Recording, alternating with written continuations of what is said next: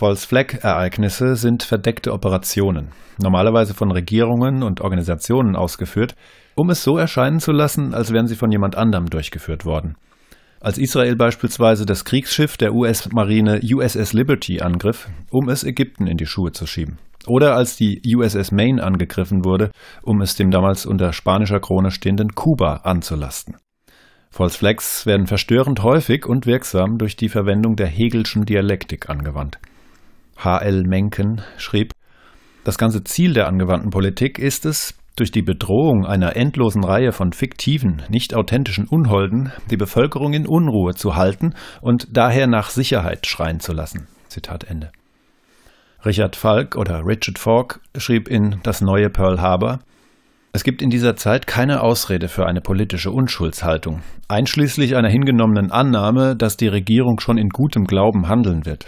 Es gibt schließlich eine lange Geschichte von der Manipulation der öffentlichen Meinung in Sachen Krieg und Frieden. Historiker sind sich zunehmend einig, dass erstens bei der Explosion der USS Maine, um den spanisch-amerikanischen Krieg vom Zaun zu brechen, zweitens bezüglich des japanischen Angriffs auf Pearl Harbor, um den vorher unbeliebten Eintritt in den Zweiten Weltkrieg zu rechtfertigen, drittens beim Golf von Tonkin-Vorfall im Jahr 1964 welcher vom Weißen Haus in Washington dazu benutzt wurde, um eine dramatische Ausweitung des Vietnamkrieges auf Nordvietnam zu rechtfertigen. Und viertens der Irak unter Saddam Hussein dargestellt wurde, ein bedrohliches Arsenal an Massenvernichtungswaffen zu besitzen, um, entgegen internationalen Rechts und den UN, den Krieg gegen dieses Land durchzusetzen, die Tatsachen manipuliert wurden. Zitat Ende. Eine von den Herrschenden verwendete Methode, um ihre Agenda der neuen Weltordnung durchzusetzen, ist die als Problem, Reaktion, Lösung oder die Hegelsche Dialektik des deutschen Philosophen Hegel bekannt. Paul Joseph Watson schrieb in Ordnung aus dem Chaos heraus, Hegel behauptete, dass jede spirituelle, intellektuelle und historische Entwicklung, ob negativ oder positiv, das Ergebnis von zwei gegensätzlichen Idealen ist. These steht im Widerspruch zu Antithese und dies erzeugt Synthese. Die moderne Anwendung dieser Dialektik wird von der herrschenden Elite benutzt, um ein Gruppendenken bei der breiten Mehrheit zu erzeugen, was ihnen ermöglicht, ohne Widerstand ihre Agenda weiter durchzusetzen. Um es einfach zu sagen, es ist Gehirnwäsche. In der Vergangenheit wurde die Dialektik dazu verwendet, um Krieg zu erzeugen. Die NSDAP und die Bolschewiken wurden beide von den weltweit Herrschenden finanziell unterstützt. Diese beiden späteren Staatsmächte wurden dann aufeinander gehetzt, um das Chaos des Zweiten Weltkriegs zu schüren.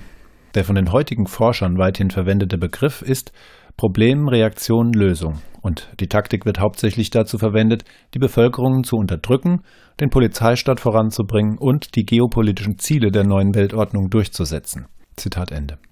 Zuerst wird ein Problem geschaffen und gestaltet, um eine bestimmte Reaktion der Bevölkerung hervorzurufen. Dann verlangen die Leute, dass irgendetwas mit dem Problem passiert und sind bereit, die vorher geplante NWO-Lösung zu akzeptieren. Eine Lösung, die stets Maßnahmen oder eine Gesetzgebung beinhaltet, welche unter normalen Umständen niemals hätte durchgesetzt werden können. Nochmal Paul Joseph Watson. Es funktioniert wie folgt. Die manipulierende Seite schafft verdeckt ein Problem und lässt dann die Medien unaufhörlich die Aufmerksamkeit darauf richten, ohne eine Lösung zu bieten. Man muss sich vergegenwärtigen, dass man eigentlich nur die Spitze der Medienpyramide kontrollieren muss. Bei der meisten Berichterstattung wird das wiedergekaut, was die großen Zeitungen und Fernsehsender berichten. Das Problem kann alles sein. Ein Krieg, ein finanzieller Zusammenbruch, ein Ausbruch von Kindesentführung oder ein terroristischer Angriff. Die Macht der Medien kann die falsche Vorstellung erzeugen, dass ein großes Problem existiert, selbst wenn es keins gibt. Wenn einmal dieses Problem geschaffen wurde, stellt man sicher, dass eine Person, eine Gruppe oder eine Gesinnung beschuldigt wird. Dies veranlasst dann die Bevölkerung, sich hinter einem verzweifelten Verlangen nach einer Lösung des Problems zu versammeln. Irgendetwas muss passieren, schreien sie dann einhellig. Die Leute, welche dieses Problem überhaupt erst geschaffen haben, kommen dann und bieten die Lösung, welche die Bevölkerung verlangt. Man muss bedenken, dass die nach einer Lösung schreienden Menschen nicht wissen, dass dieses Problem überhaupt erst künstlich geschaffen wurde. Die Lösung ist dann jedes Mal eine weitere Einschränkung der Freiheit und ein Fortschreiten von einem oder mehrerer Punkte der Agenda der neuen Weltordnung. Ob dies geopolitische Interessen, neue Gesetze oder die Umsetzung von neuen gesellschaftlichen Anschauungen sein mögen. Zitat Ende. Alex Jones schrieb in 9-11 Abstieg in die Tyrannei Die Hegelsche Dialektik von Problem, Reaktion, Lösung. Greife dich selbst an, beschuldige deine Feinde und erzähle der Bevölkerung, dass du sie beschützen kannst, wenn sie ihre Freiheiten aufgeben.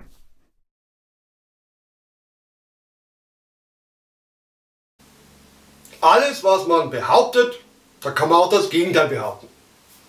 Und diese These, Antithese wird dann aufgehoben in der Synthese. Die Synthese beinhaltet dann die These und die Antithese und bringt sie in einen größeren Zusammenhang.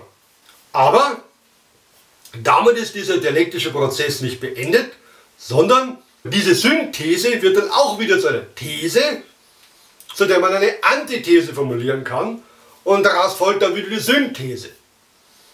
Also dieser dialektische Prozess geht dann immer weiter und weiter, bis man sozusagen alles im ganz großen Zusammenhang sieht.